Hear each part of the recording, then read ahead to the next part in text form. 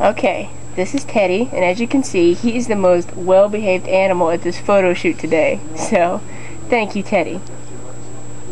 Seriously, this guy is amazing. You you cannot make him blink. Watch this. It's crazy, right? He's crazy good. Good job, Teddy.